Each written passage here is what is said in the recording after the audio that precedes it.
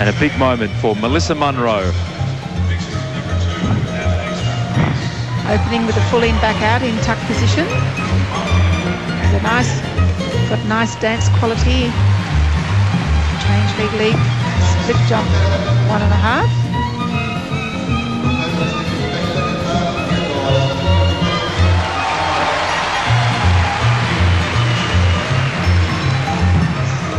Combination pass, one and a half twist through to two and a half twist.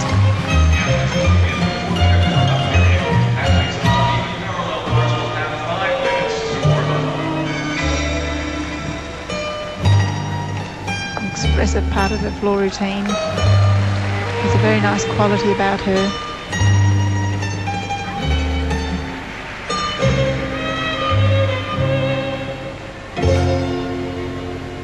Triple turn through to split full.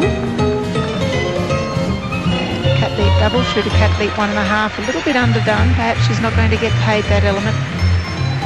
As we've mentioned before, sometimes the dance elements are harder to achieve than these tumbling elements.